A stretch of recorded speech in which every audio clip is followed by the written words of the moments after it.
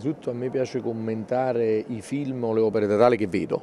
quindi io Comurra non l'ho ancora vista, quindi per esprimere un giudizio sull'opera eh, cinematografica la devo vedere. Tendenzialmente il mio pensiero l'ho espresso più volte, basta, ed è molto attuale il tema di adesso, di un'immagine unilaterale della nostra città.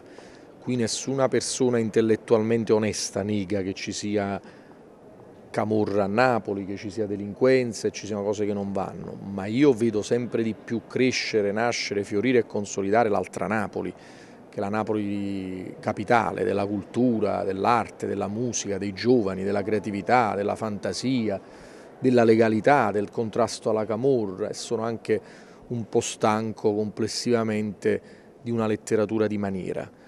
Altra cosa è denunciare, quindi mai nascondere sotto il tappeto, non narrare le cose che non vanno e altra cosa costruire eh, identità che non esistono. Quindi io vorrei raccontare, eh, vorrei in qualche modo ridimensionare storie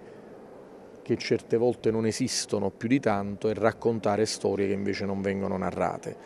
Quindi il mio impegno da sindaco è dare soprattutto forza a chi contrasta la camorra e forse anche a raccontare un po' meglio come sia oggi forte un nuovo modo delle mafie, quello di infiltrarsi nella politica e nelle istituzioni in modo radicale e raccontare anche che ci sono tante persone che ogni giorno contrastano quel sistema. Certe volte questo non emerge molto nei romanzi, nella letteratura e nelle opere cinematografiche, perché magari fa anche comodo a qualcuno che sia così.